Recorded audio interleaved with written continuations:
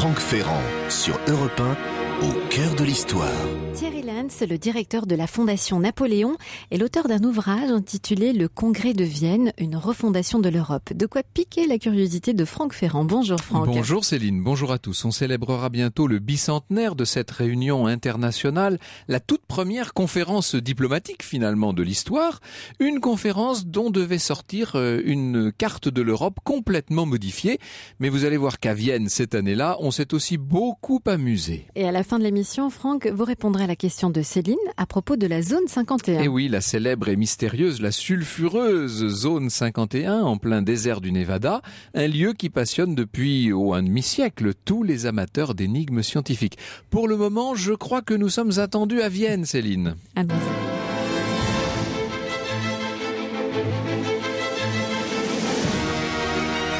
Europe au cœur de l'histoire. Franck Ferrand.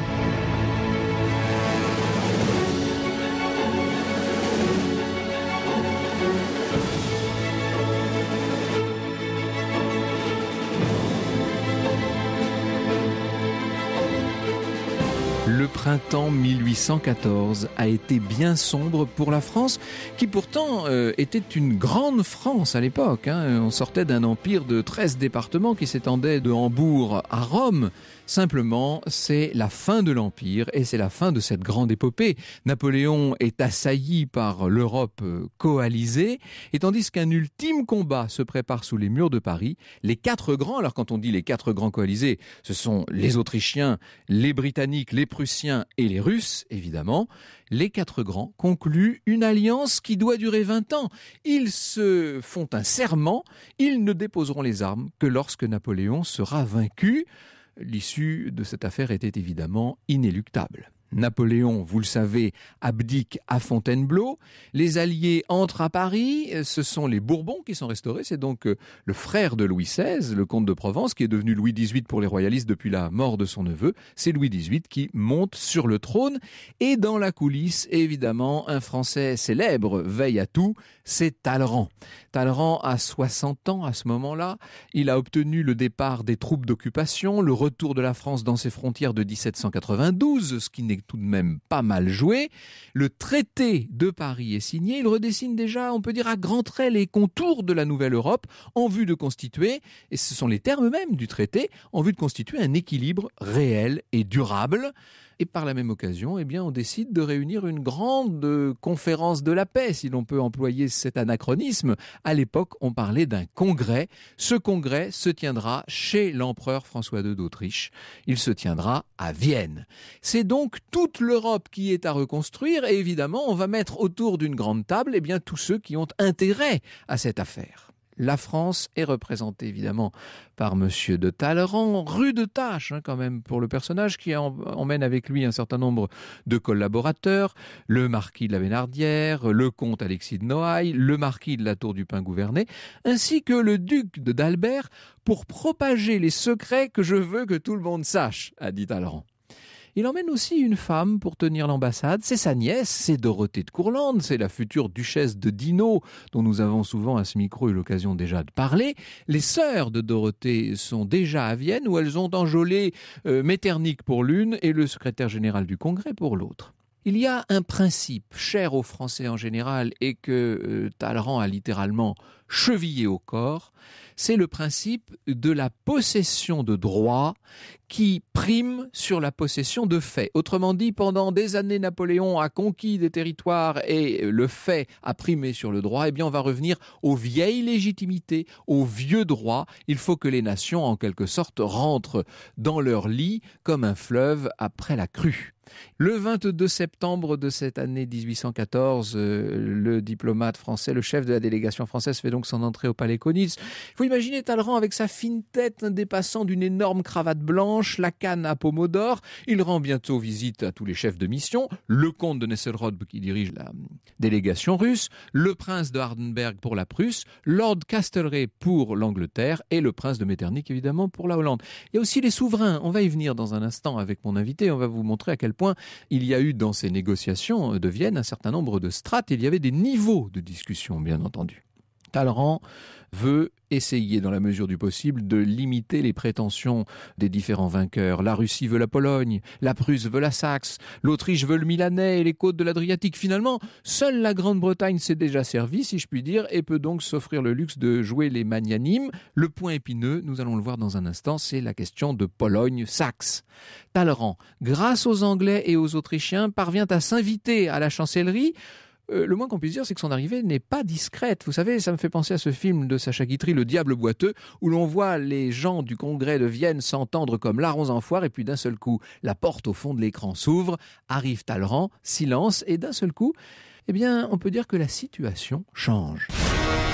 Europe 1, 14h, 15h. Au cœur de l'histoire. Franck Ferrand. Et vous continuez à nous faire découvrir, Franck, le congrès de Vienne. Le congrès s'ouvre officiellement en novembre. Six souverains résident à Vienne à ce moment-là, accompagnés de plus de 700 diplomates. Avec, euh, il faut imaginer que ces diplomates ne sont pas venus seuls, ils ont leur secrétariat, toute leur domesticité. En tout, plus de 100 000 étrangers dans la capitale autrichienne. Une réunion politique sans précédent dans l'histoire.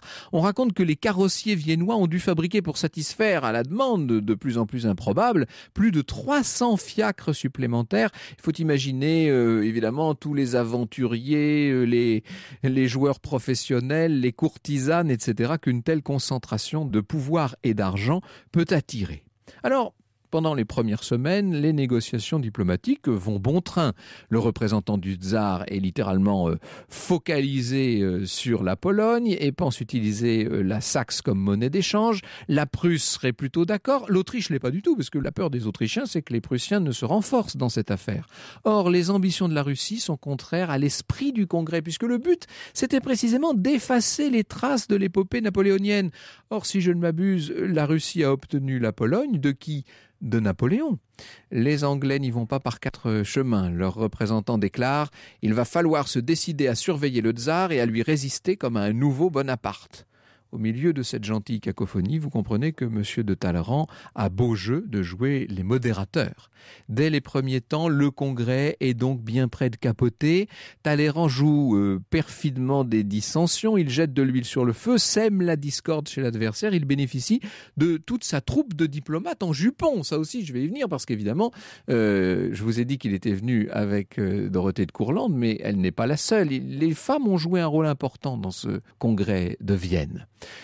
Il ne faut pas oublier que, évidemment, euh, la journée on négocie dans toutes sortes de commissions, on va venir dans tous ces détails dans un instant, mais euh, le soir on s'amuse, bien entendu, tout ça a lieu sur fond de bal. Le congrès ne marche pas, écrit le prince de Ligne, il danse. Les coulisses sont pleines de scandales qui circulent par les laquais, par les femmes de chambre, par les valets de pied et surtout par les nombreux espions euh, qui se cachent sous ces différents uniformes.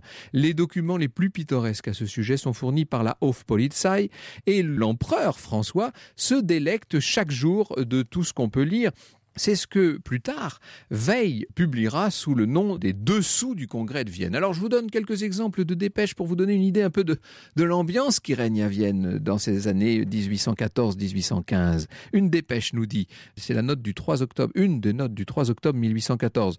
Le prince Adam Czartoryski vient d'arriver. Il prendra ici un domestique, on va s'efforcer de lui procurer un homme de confiance, grâce auquel on sera renseigné sur son compte, évidemment. Comme on dirait aujourd'hui, ça balance. Évidemment, vous comprenez pourquoi tous les matins, l'empereur euh, d'Autriche se jette littéralement sur ces notes de police qui le divertissent beaucoup. Tous les Autrichiens sont enchantés du rôle digniteux et magnifique que joue notre cour, annonce une autre euh, note, toujours de la même journée. On a entendu dire à un des dignitaires du palais, envoyé au devant de l'empereur Alexandre de Russie, c'est un vrai sauvage. Et voilà, le voilà habillé, lui. À un dîner donné par Metternich, nous annonce euh, une autre note, on a fort admiré le service aux armes de Bonaparte, service donné par Bonaparte en prix de l'Holocauste de la nouvelle Iphigénie. Euh, je vous passe la suite. Euh, d'ailleurs, si cela vous amuse, j'ai recopié un certain nombre de ces notes sur mon site. Il suffit donc d'aller sur francferrand.com et vous aurez un certain nombre de ces notes qui ne sont vraiment pas à piquer des verres. La seule femme de la cour d'Autriche qui, au milieu des balles, au milieu de tous les amusements, les concerts, etc., et les, pièces de théâtre qui sont données, il ne faut pas oublier quand même qu'on a fait venir euh, les chanteurs de l'Opéra de Paris, un certain nombre de grands comédiens qui arrivent d'Allemagne, la seule femme à s'ennuyer, eh bien, c'est l'épouse de Napoléon, c'est l'ex-impératrice des Français, Marie-Louise, qui est après tout de la famille, n'est-ce pas? Elle est chez elle à Vienne et cependant, étant donné son statut tellement particulier, cette femme n'a pas le droit, elle, de s'amuser. Elle n'a que 23 ans, vous imaginez, et la voilà réduite euh, à un triste rôle. Elle est obligée par un œilleton qu'on a pratiqué dans une boiserie à regarder les autres danser et s'amuser. Alexandre n'en démord pas, le roi de Prusse sera aussi roi de Saxe, dit-il, comme je serai moi-même roi de Pologne. Voyez néanmoins que la diplomatie est là, toujours présente, et qu'elle ne perd bien entendu jamais ses droits. Franck Ferrand, 14h, 15h sur Europe 1. Et nous sommes au cœur de l'histoire cet après-midi du congrès de Vienne que vous continuez à nous faire découvrir, Franck. Peu à peu, le congrès s'enlise, disons-le. Les commissions se perdent dans des discussions à l'infini. On en est aux négociations. Les Russes disent aux Français cédez sur la Saxe et nous, nous vous soutiendrons sur Naples. Talleyrand répond Monsieur, vous me parlez là d'un marché et je ne veux pas en faire. Moi, je suis obligé de suivre des principes et les principes ne transigent pas. C'est bien la première fois qu'on voit Talleyrand se réfugier derrière des principes. Il travaille en vérité à détacher l'Autriche et l'Angleterre de la Russie. Et de fait, le 3 janvier 1815, la France, l'Autriche et l'Angleterre signent un traité d'alliance défensive, ce qui permet à notre ministre sur place d'écrire à Louis XVIII Maintenant, la coalition est détruite et elle l'est pour toujours. Non seulement la France n'est plus isolée en Europe, mais votre Majesté a déjà un système fédératif tel que 50 ans de négociations ne semblaient pouvoir parvenir à lui donner. Talleyrand peut se montrer grand seigneur désormais, et lui, dont le comportement euh, prêterait à tant de commentaires au temps de la Révolution, s'offre le luxe de donner le 21 janvier 1815 une grande messe de deuil à la cathédrale Saint-Étienne en la mémoire du roi Louis XVI. Et d'ailleurs, quelques jours plus tard, le 5 février, au Palais Konitz, très grande fête donnée par Talleyrand. Alors là, vraiment pour éblouir non seulement Vienne, mais à travers euh, tous les diplomates présents, l'Europe entière, pour célébrer tout simplement et en toute modestie son 61e anniversaire. Avec le temps, force est de l'admettre, le Congrès est en train de tourner à la discussion infinie et totalement stérile. On traite de quantité de questions belges, hollandaises, lombardes, suisses, mais Talleyrand n'assiste qu'aux réunions sur Naples, la Pologne et la Saxe. Sur ce dernier sujet central, un accord est sur le point d'être trouvé. Talleyrand et Wellington, qui maintenant est le représentant de l'Angleterre, s'apprêtent à partir en mission à Presbourg pour rencontrer le roi de Saxe au moment où arrive une grande, une très grande nouvelle, une nouvelle qui change tout. Napoléon a débarqué à Golfe-Juan. C'est toute l'affaire, vous savez, de cette aventure incroyable. Napoléon a quitté l'île d'Elbe. Il va remonter le couloir rhodanien jusqu'à Paris. Le 20 mars, il est aux Tuileries. Évidemment, ça change tout. Le 25, dès le 25 mars, on n'a pas attendu longtemps, malgré la lenteur des courriers de l'époque. Dès le 25, l'alliance est reconstituée contre la France. Le 27, Talleyrand, un peu forcé, euh, doit y donner son adhésion. Pour lui, on peut dire que le printemps va être très difficile au moins jusqu'au 18 juin et jusqu'à l'annonce de la défaite. Novembre 1815, traité terrible pour la France, je ne vais pas entrer dans tous ces détails. France ramenée à ses limites d'avant la Révolution, qui perd notamment la vallée de la Sarre, et ça, ça lui fera cruellement défaut, évidemment, en 1870, euh, au moment de la guerre contre les Prussiens. La Prusse ressort de tout ça fortement consolidée, l'Autriche aussi, au, au détriment de tout le nord de l'Italie, la Russie a fait main basse sur la Finlande et la Bessarabie, une barrière s'est constituée autour de la France, avec euh, les Pays-Bas, la Confédération suisse, le Royaume de Sardaigne. Alors c'est vrai, les Bourbons Siciles ont retrouvé leur trône de Naples, mais vous me direz, c'est vraiment pas grand-chose. Il est vrai que le Congrès a traité d'un certain nombre de questions générales. La libre navigation des fleuves internationaux, la suppression de la traite des Noirs, etc. Mais après les espoirs de 1814 et les conclusions de 1815, assez saumâtres, notamment pour la France, on peut dire que ce Congrès se révèle vraiment un échec pour nous. Alors peut-être qu'il faut le voir autrement, et peut-être qu'il faut changer de point de vue. C'est ce que nous dit en tout cas Thierry Lenz dans son ouvrage sur le congrès de Vienne. Il nous dit que nous avons depuis trop longtemps eu tendance à considérer ce congrès d'un point de vue franco-français et à n'y voir que le rôle de Talleyrand face à l'Europe, et qu'il serait peut-être plus intéressant de voir en quoi ce congrès préfigurait l'Europe et le regarder de son propre point de vue, d'aller le voir là-bas depuis Vienne et d'une façon plus générale, d'une façon plus géostratégique depuis l'Europe elle-même. Ce qu'est derrière ce grand tableau un peu sombre. La petite histoire aura retenu du congrès de Vienne, ce sont, disons-le, les couloirs, les alcôves, toutes ces histoires euh, un peu lestes, évidemment, qui ont fait rire l'Europe entière, car s'il a assez peu et plutôt mal travaillé, le congrès, disons-le, s'est bien amusé, et c'est ici qu'on retrouve le regard ironique de Paul Morand, qui a décrit, évidemment, les amusements du congrès de Vienne.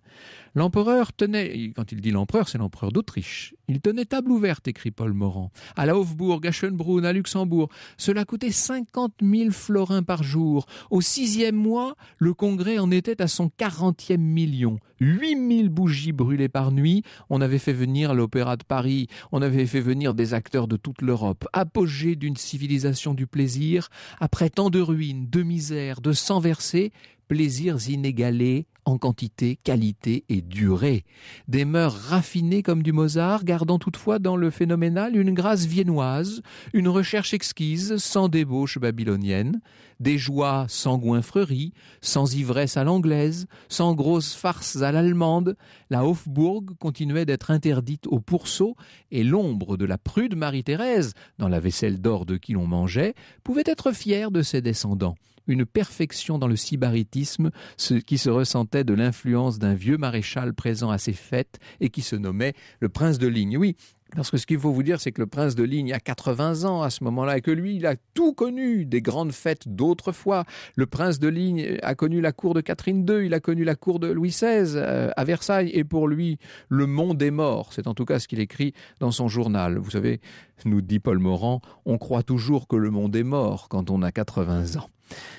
Alors il faut entrer dans le détail de toutes ces fêtes du Congrès, les redoutes masquées chaque semaine à la Hofburg, les chevaux lipisants du manège de l'école euh, et de l'école espagnole viennoise, euh, qui, euh, ce manège qui sert de salle de bal, qui sert de salle de carrousel. On fait de grandes fêtes partout, des tableaux vivants historiques, parce qu'on est dans la pleine redécouverte du style néo-gothique qui est en train, grâce et à travers le Congrès de Vienne, de faire un retour en force en Europe. Les délégations renchérissaient sur le luxe, écrit Paul Morand. Leurs loteries sont restées célèbres, ainsi que les bigarrures des menus. La russe, délégation russe, distribuait des iblines, la prussienne des porcelaines de Berlin. Les gagnants étaient tenus d'offrir leur lot à la dame qui les accompagnait. Par courrier arrivaient les sterlets de la Volga, les huîtres d'Ostende, les ananas des célèbres serres d'hiver de Peterhof et le caviar de Moldavie et les truites de Valachie. La Hofburg assurait gratuitement le service des voitures. Il fallait des chevaux pour les caracoles du Prater, les chasses de Heiligenkreuz, les patinoires de Schönbrunn, les postes attelés, les carrossiers viennois avaient dû, c'est ce que je vous disais tout à l'heure, prévoir de nouvelles voitures. Les souverains s'entre-décoraient, accumulaient les cadeaux offerts ou reçus, se faisaient des visites tous les matins, s'offraient des régiments ou de grands cordons de leurs ordres, l'éléphant, l'aigle noir, la toison, le lion, le phénix, le bain, que sais-je. On s'offrait aussi des provinces, on se donnait des régiments. Comme le port de l'uniforme était immédiatement obligatoire, les tailleurs juifs de Vienne devaient passer les nuits à tailler et à coudre, tandis que les diplomates passaient, eux, leur matinée à tailler et à recoudre l'Europe. Dorothée de Périgord tint magnifiquement son rang au palais Konitz et lors des fêtes, du moins si l'on ne tient pas compte du fait qu'elle était tout de même la maîtresse de son oncle Talleyrand, écrit Thierry Lenz dans son bel ouvrage sur ce congrès de Vienne. Euh, Talleyrand avait, nous dites-vous d'ailleurs, euh, 40 ans de plus qu'elle euh, à cette époque. Entre autres frasques, et alors là, il y a toutes ces femmes du congrès de Vienne. Jeanne d'Acerenza fit tant languir Gens qu'il finit par ne plus l'appeler que la putain de Courlande. Pauline de Hohenzollern n'arriva au Congrès qu'en mars 1815, en même temps que sa mère, la duchesse de Courlande, et n'eut pas le temps d'y faire parler d'elle. Reste la quatrième sœur, parce que toutes ces sœurs-là sont les sœurs de Courlande, hein, Wilhelmine de Sagan, dont on a dit un mot tout à l'heure, qui, ce détail cocasse, avait pris ses quartiers au Palais Palme, comme la princesse Bagration. Euh, chacune avait une aile du palais, ce qui ne rendait pas évidemment la vie facile euh, dans ce secteur de Vienne. Après avoir été la maîtresse d'un noble suédois, l'épouse d'un Rohan, puis d'un Trubetskoy, elle était depuis l'été 1813 la maîtresse de Metternich, à qui elle n'était évidemment pas plus fidèle qu'aux autres, ce que son amant, du reste, lui rendait bien. C'était quand même singulièrement leste, ce congrès de Vienne, Thierry Lenz. Oui, c'était, comme vous l'avez dit, euh, le retour de la fête après 25 ans de guerre. Donc on a, comme on a très peu su à l'époque ce qui s'est passé euh, dans les séances, pendant le congrès proprement dit, on a beaucoup parlé des à côté, puisque, comme vous l'avez dit, il y avait des commissions, que ces commissions étaient très restreintes et que bah, il fallait bien occuper les centaines d'autres diplomates qui n'avaient rien à faire. Que faisait-on dans ces commissions? À quoi travaillait-on exactement? C'est ce que nous voyons avec vous dans un instant.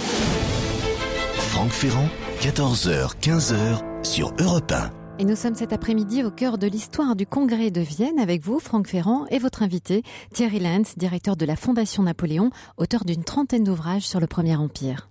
Thierry Lenz, vous nous expliquez dans cet ouvrage sur le congrès de Vienne que nous avons eu, nous autres Français, tendance à trop regarder les choses depuis Paris et à trop mettre en avant ce personnage de Talleyrand, ce que j'ai fait moi-même dans mon récit d'ailleurs, j'ai pas pu m'empêcher. Oui, mais c'est aussi ce qui illustre euh, le texte de Morand. C'est Oui, un, un texte qui est euh, très critique à l'égard du Congrès parce que effectivement, à l'arrivée, le Congrès, mais aussi à cause du retour de Napoléon, euh, le Congrès aboutit à la mise en quarantaine de la France, on va dire jusque dans les années 1840.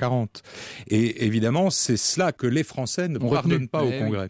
Alors qu'en réalité, euh, le, le Congrès a beaucoup travaillé en formation restreinte, et puis il est surtout, il a abouti à un, à un traité final, 122 articles, avec euh, 8 ou 9 annexes qui représentent eux-mêmes des centaines d'articles, qui a véritablement réorganisé l'Europe, essayé d'organiser l'équilibre et la paix, et au fond, euh, cette paix de Vienne, elle a duré jusque dans les années 1910, et s'est terminée euh, avec notamment le fameux ce qu'on appelait le concert européen, qui était le droit pour les grandes puissances de gouverner le reste de l'Europe, qui a très bien fonctionné pendant tout le 19e siècle. Alors il y a deux grandes périodes effectivement qu'il faut distinguer parce que on peut dire que le congrès n'a rien à voir avant et après. C'est toute la période qui précède le printemps 1815 et puis euh, la conclusion du congrès après l'expérience, après l'histoire des 100 jours. hein. C'est-à-dire qu'en vérité, euh, c'est là qu'il faut peut-être balayer un peu devant notre porte. Si Napoléon ne s'était pas lancé dans cette aventure, s'il n'avait pas quitté l'île d'Elbe, s'il n'était pas remonté à Paris, s'il n'y avait pas eu toute cette dernière coalition contre lui avec euh, la défaite de Waterloo euh, au bout du compte, il est possible que le Congrès aurait été euh, plus amène, plus respectueux envers la France. Oui, hein. et, et on peut dire, euh, ça n'est pas du tout un paradoxe que Napoléon a sauvé le Congrès de Vienne. C'est-à-dire, comme vous le disiez, on était à un moment où Talleyrand avait bien réussi son coup très, quand très même. oui. difficile de se mettre d'accord sur tout un tas de sujets. Il débarque. Euh, signalons quand même que l'acte final du Congrès est signé le 9 juin 1815, donc une semaine avant Waterloo, et que, en réalité, comme vous le disiez, c'est le second traité de Paris qui, lui, est négocié, on va dire, en dehors des accords de Vienne. Mais là, on a un cas spécifique d'une nation qui n'a pas respecté le, le concert, et donc on la sanctionne, et on la sanctionne euh, sévèrement. hein. L'historien Pierre Branda euh, dit toujours euh, les 100 jours sont les 100 jours les plus chers de l'histoire de France, et c'est la vérité. Venons-en aux travaux de tous ces diplomates. D'abord, où s'effectue la négociation? Parce que c'est un peu complexe. Il y a des souverains, il y a des chefs de mission diplomatiques, et puis ensuite il y a toutes sortes de délégués qui viennent avec eux-mêmes, des secrétaires, etc. Oui, Alors, on a organisé les choses autour des diplomates, c'est-à-dire que la présence des souverains était une présence, en quelque sorte, on célébrait la paix entre souverains. Euh, les chefs les de fêtes, délégation, etc., voilà, d'où les fêtes. Bon, les chefs de délégation bah, conduisaient la délégation au nom de leur souverain, mais euh, si vous voulez, au lieu de leur envoyer des dépêches à 1000 km de là, bah, le traversaient soir. la Ouais, rue et ils allaient leur expliquer ce qui s'était passé. Ce qui fait que on a pris des décisions très rapidement, et notamment au moment du retour de Napoléon. Et Napoléon lui-même a dit dans ses mémoires que ça avait été une erreur de sa part de débarquer à Golfe-Juan pendant que le Congrès était réuni.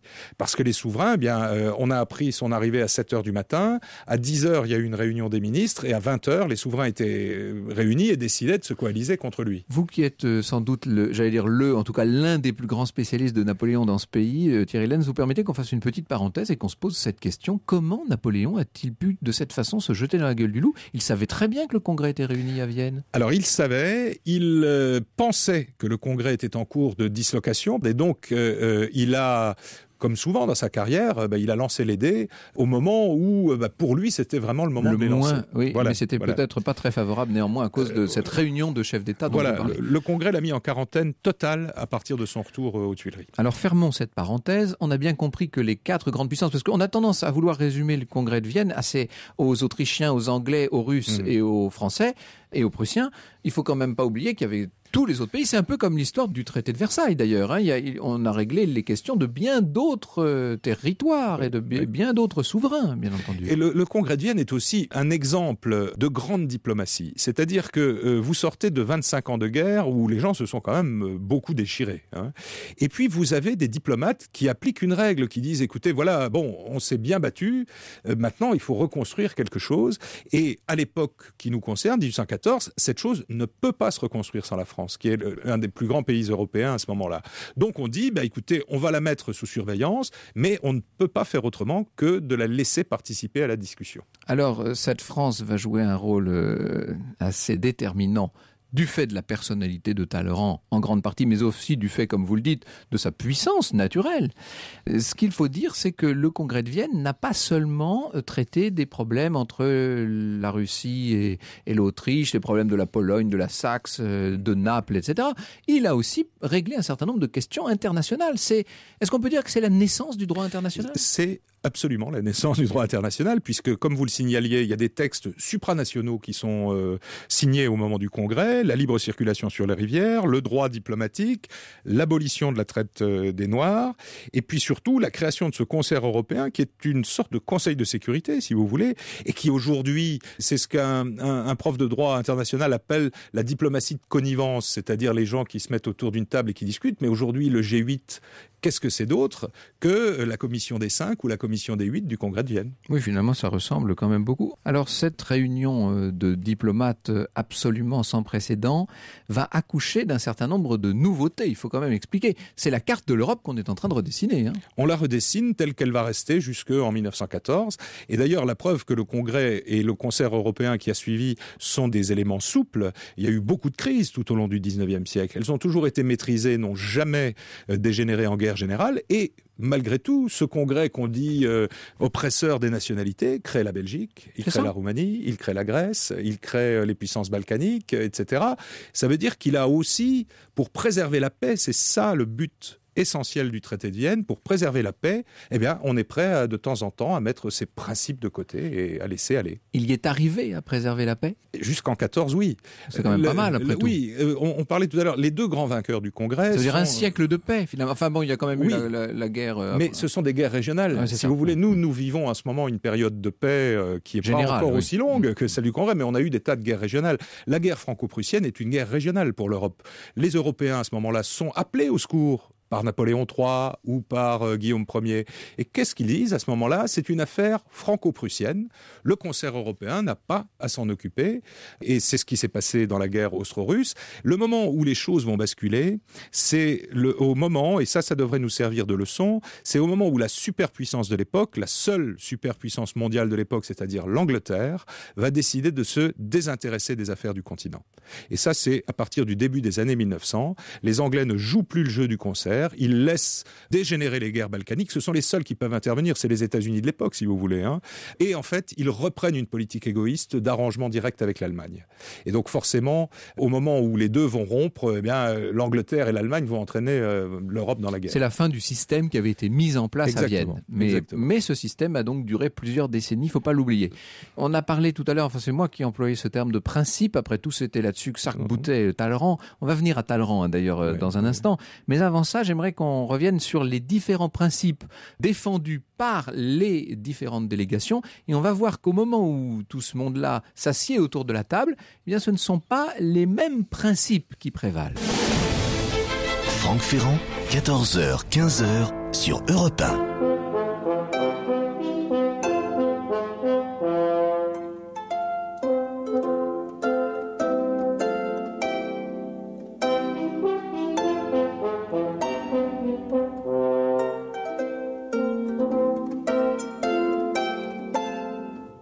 Joseph Naderman et Frédéric Duvernois, un extrait de musique à la cour napoléonienne, puisque nous sommes au cœur de l'histoire cet après-midi du Congrès de Vienne avec vous, Franck Ferrand, et votre invité Thierry Lanz, directeur de la Fondation Napoléon. On sait à quel point l'Autriche est un pays conservateur et quand on va aujourd'hui à Vienne, on peut se retrouver dans le décor même hein, du congrès de Vienne, Thierry. Thierry oui, oui, oui, par exemple, le, congrès, il y, a, il y, a, un grand dessin qui n'est pas un tableau, qui est connu du congrès, c'est le fameux dessin d'Isabelle qui représente l'ensemble des négociateurs. Séance plénière, il n'y en a pas eu beaucoup hein, d'ailleurs. Hein. oui, il n'y en a pas eu beaucoup. En fait, le congrès ne s'est jamais réuni euh, en séance plénière. Il y a eu une seule réunion, c'est à la fin pour signer.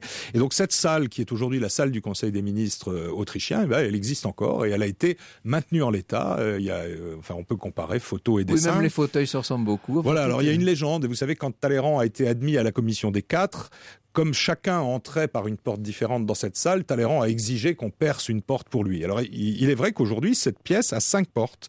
Mais en fait, renseignement pris auprès de la chancellerie autrichienne, la cinquième porte a été euh, ouverte en 1834. donc euh, la légende de Talleyrand exigeant une porte est euh, exagérée. Fin d'une belle légende. Décidément, l'ombre de Talleyrand plane littéralement sur ce. Sur il était le grand homme d'Europe à ce moment-là. Quand il est arrivé à Vienne, ça a été un événement plus important que l'arrivée de l'empereur de Russie ou du roi de Prusse.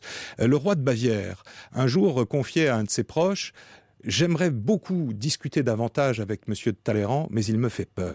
Ah, c'est incroyable. il était, en plus, Talleyrand, comme vous le disiez, toujours euh, tiré évidemment à quatre épingles, portant toutes ses décorations à chaque apparition, et Dieu sait qu'il en avait.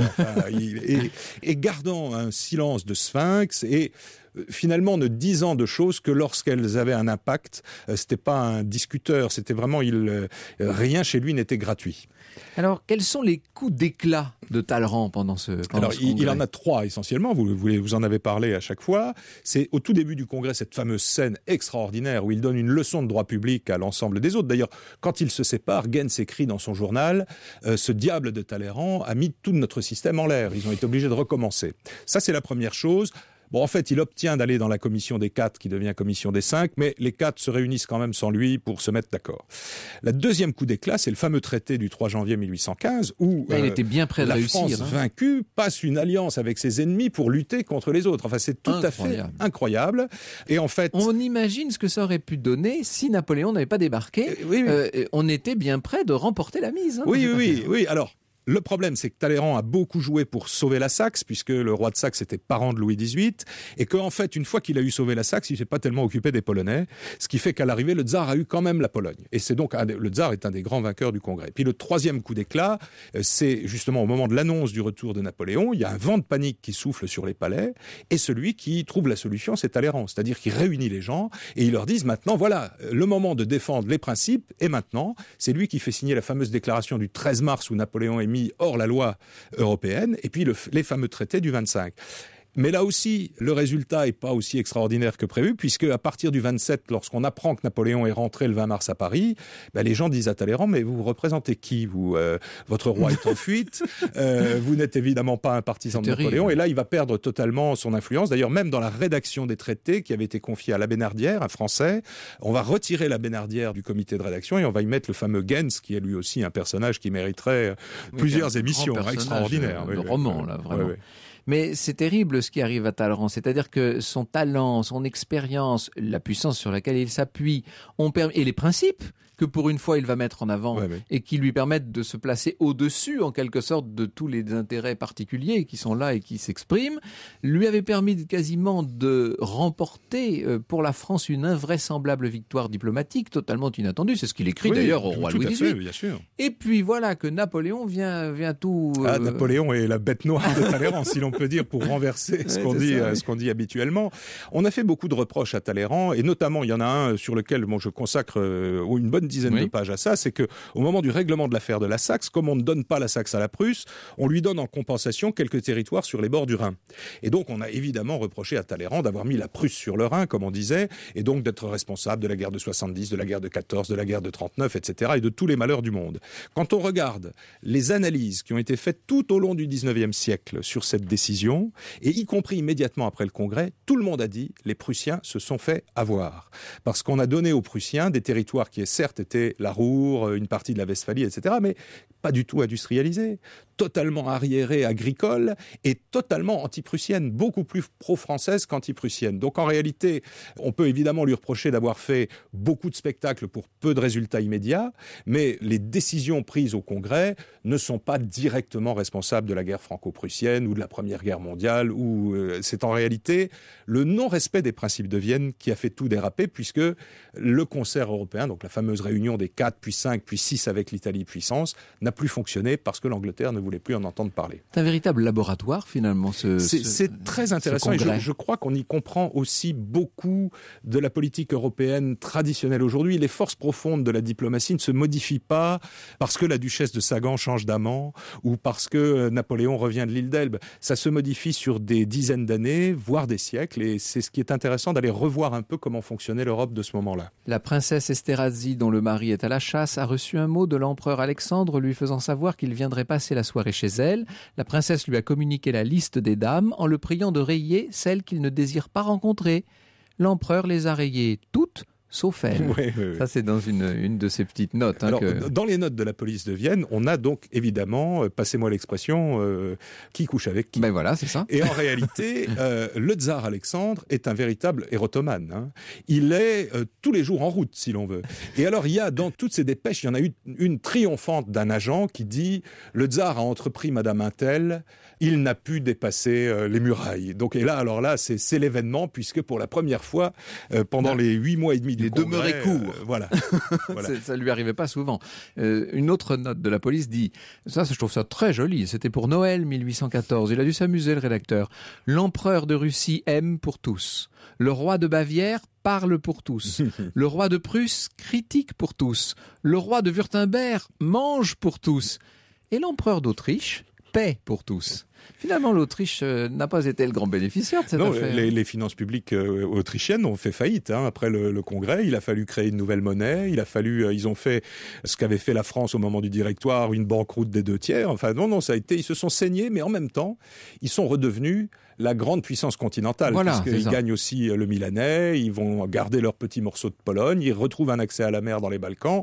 Euh, Metternich a fait du bon travail. On n'est pas sûr qu'il ait toujours su ce qu'il faisait, c'est ce que dit Gens quand il commente le travail de son patron, mais il l'a bien fait. Ce qu'on aime bien généralement chez les historiens anglo-saxons, c'est qu'ils sont capables de s'abstraire de considérations nationales pour parler, euh, d'abord pour se remettre dans l'esprit du temps, et puis pour parler d'ailleurs, en quelque sorte. Je pense qu'on peut dire que c'est ce que vous avez fait, Thierry Lenz, dans ce très bel ouvrage qui s'appelle Le Congrès de Vienne, avec euh, un sous-titre qui dit tout, une refondation de l'Europe 1814-1815. C'est donc paru chez Perrin. D'ailleurs, le, le, livre a obtenu, enfin c'est vous qui avez obtenu le prix Pierre Laffut qui va vous être remis là dans quelques jours. Oui, voilà, je suis très content parce que Pierre Laffut, que les gens ne connaissent plus tellement, eh ben, est un historien qu'on a beaucoup lu quand nous étions jeunes euh, et donc que je relis en ce moment pour préparer cette remise. Merci beaucoup Thierry.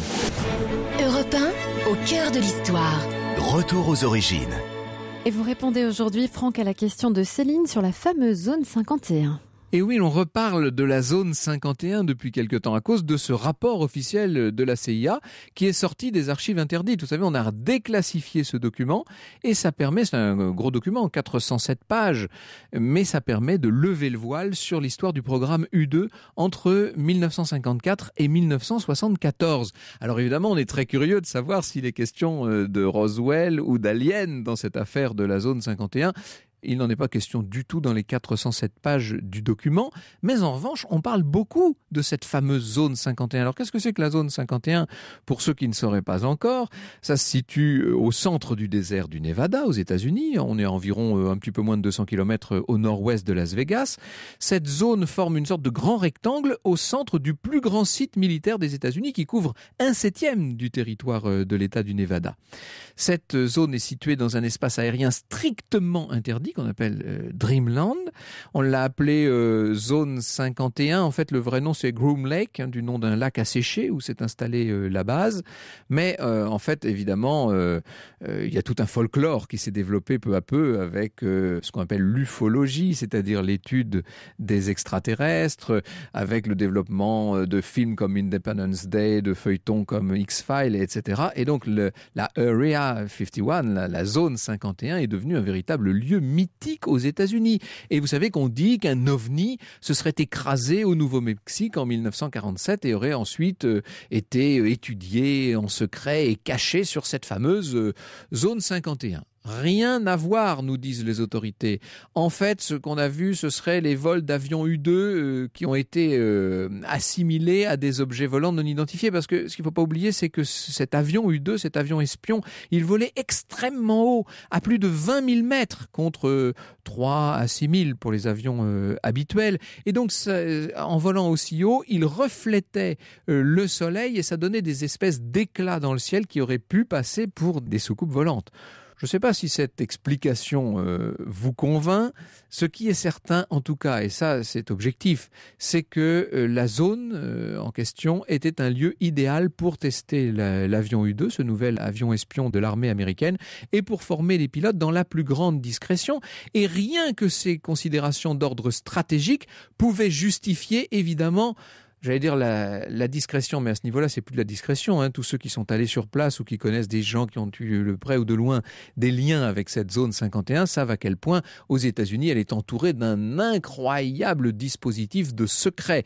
Eh bien, il semblerait que le secret soit lié essentiellement à des considérations d'ordre stratégique et militaire et non pas, n'en déplaise aux ufologues, à des liens avec les extraterrestres.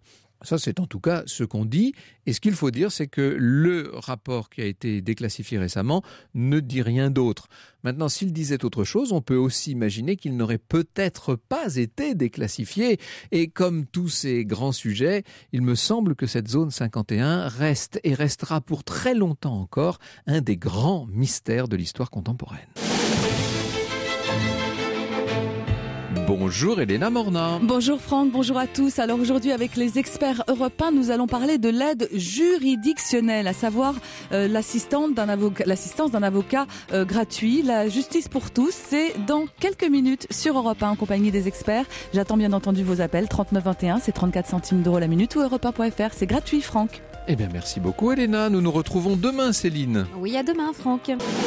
Franck Ferrand sur Europe 1 au cœur de l'histoire de l'histoire, au cœur de l'histoire, au cœur de l'histoire, au cœur de l'histoire, au cœur de l'histoire, au cœur de l'histoire, au cœur de l'histoire, au cœur de l'histoire.